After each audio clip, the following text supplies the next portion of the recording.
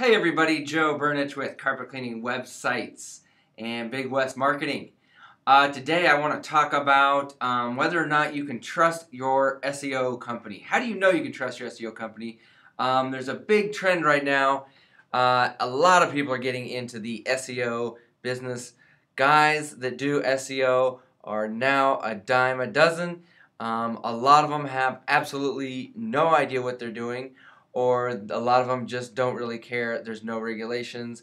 Um, just like the carpet cleaning business, it's very easy to get into. It does not take very much money. All you need to do is kind of say, hey, I'm an expert, and hope that people believe you.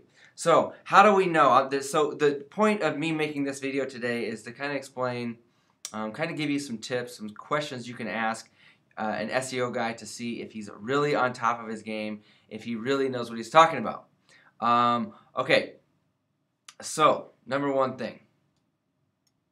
In 2015, the Google Maps section, or it used to be called Google Places, it's now called Google My Business. That section and the organic section, the organic ranking sections, are almost one and the same. They use the same factors to rank. So um, I have had a lot of people say, well, somebody has told me that they can rank me for you know 10 different cities, all in the organic section, and yes, that may be true, but if you rank organically for 10 different cities, you're not going to be ranking high on the first page. Um, you will rank probably, if you rank on the first page at all, for a city that you're not physically located in, you're going to be ranking towards the bottom of that page.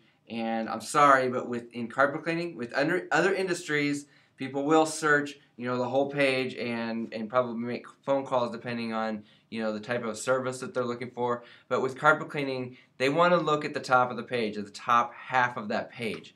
And um, I'm sorry to say that in that the that the way that current the current algorithm that Google is using is saying you need to have a um, uh, a physical address in that city that you want to rank in. And I don't care if it's organic or if it's maps. Now, once in a while, you'll find an exception to that rule, and you'll see somebody ranking high organically in a city they're not located in. Um, but the chances of that happening are, are very slim, and it's usually part of the luck factor that uh, that is causing, you know, that is allowing that to happen. So be very careful if somebody tells you they can rank you in multiple cities. Um, it's not very realistic anymore. Okay. Um, another thing you want to be careful of doing, and this is more just like, and I, is something that you should be on the lookout for, is um, or to be careful of, is to hire more than one SEO company at the same time. I've had people hire us to do SEO, and then we find out later that they're also using um, another company like Yodle or so, another one of these big companies that have like an amazing sales team. Um, you know, they'll they'll talk you into it and they'll tell you whatever you want to say. Most of them have no idea what they're talking about when it comes to SEO. They're just salespeople. They've learned some lingo and they sound smart, um, and they are very good at sales and they are very good at um, over promising. Um, but the point is, if you're working with one SEO company, whether it's me or anybody else, and we've got uh, you know certain directories and citations created for your business. And then another business like Yodle or one of these big ones comes along and uses different tracking phone number um, different website all this stuff. All of a sudden you have conflicting information all over the internet. It's going to hurt you more than help you and you're just and you're probably end up paying double. Uh, it's just a bad idea to use two SEO companies at the same time okay? Um, just because of the way the address, the physical location, all that stuff works. Okay? Uh, highly recommended you stick with one. All right.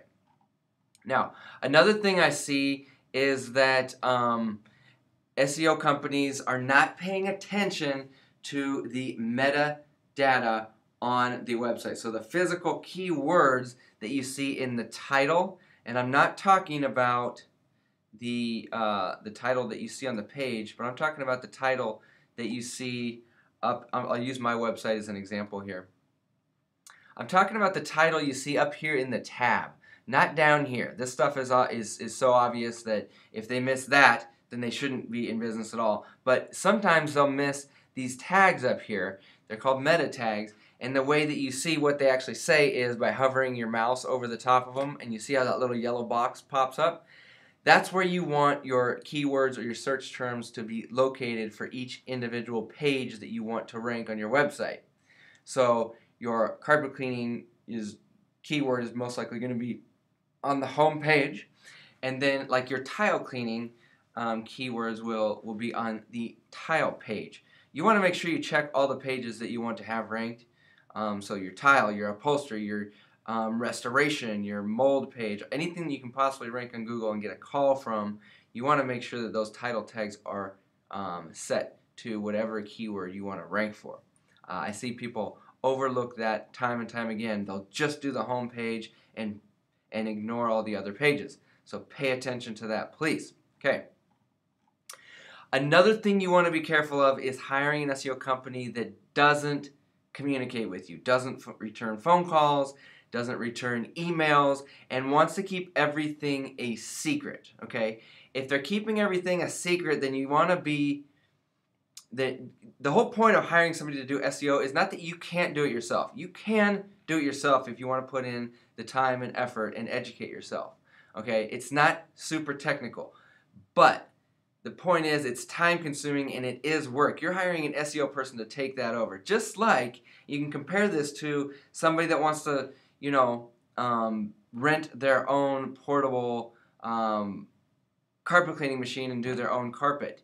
Yes, if they really want to take the time, they can probably do it as good or almost as good as a professional. Um, but they don't want to take the time. They want to hire somebody to do that because they have other things they want to do with their lives. Same thing with SEO. You want to hire somebody to do SEO because it's something you don't have time to do. Okay? It's something you don't have time or the the desire to do. Okay? That's why you hire out SEO. It's something you can do, but it's not something that you want to do or have the time to do. Um, and uh, and so if there if your SEO if if the person that you're talking to about SEO is extremely secretive about how they do things and they're not giving you any details and everything's kind of blurry and vague, watch out. Be careful. Um, because they're either not going to do anything at all or they're going to do techniques that are short-lived and could get you into trouble uh, in the long run. Okay. Another thing you want to you want to talk to your SEO guy about is social media. Now, social media marketing is different than ranking on Google. It's two completely different things. But Google likes to see that you have your social properties set up. You don't need to be posting on them every day, although that can't hurt. Um, there's debate whether or not that really helps ranking or, rankings or not. But you need to have your Twitter, your Facebook, and your Google Plus, all of those, the three big ones, set up, and you need to have the correct information, business name, phone number, address, all that stuff set correctly in those three big profiles. If you want to take it up, take it to another level and do all you know Pinterest and all this other stuff, um, that's fine. But the main ones that Google are looking at are Twitter, Facebook, and Google Plus. Like I said, you don't have to be posting on them every day, uh, but at the very least, you want to have them set up and you want to have them set up correctly. Okay. The last thing I want to talk about that you need to that you need to um, discuss with your SEO guy is um, getting Google reviews. Now, there's this is another one where there's a lot of debate of whether or not a Google review will help you get ranked to the top. I'm not sure if it'll actually help you get ranked to the top um, on its own. I'm not sure if it has any ranking power at all. But I do believe that you will get into the uh, get onto the first page into the map section faster if you have real legitimate Google reviews okay, that are located in your town. Um, now, getting reviews is a whole different story, but it needs to be discussed with your, uh, it needs to be a, to a topic of discussion with your SEO guy. If they completely blow that off as if it's not important, then that's something you need to be concerned about because Google reviews are very, very important, not only for ranking, but for getting people to actually pick up the phone or to click on your website. So, that being said, um, you know, talk to your SEO guy um, about the stuff that we that I just discussed here. If they refuse to talk about this stuff, you're probably um, not talking to a very reputable company. Now, if you would like to work, talk to us and get a free 30 minute conversation uh, about your business and what we could possibly do for you and, and see if we're a good fit, then please give us a call at 406 493 1881. That's 406 493 1881. Like I said, it's a free 30 minute consultation to find out if we're a good fit for each other. Um, we don't work with everybody. We actually have a limited number of people we are working with as far as SEO is concerned. Um, with web design, we can do as many web do as much web design as as uh, uh, as you need, but we're very limited to who we work with um, uh, with SEO because we're um, number one, we only work with people in a specific territory, and we don't work with competitors. So if you're locked into that territory, nobody else is going to be working with us as long as you're you're part of our system.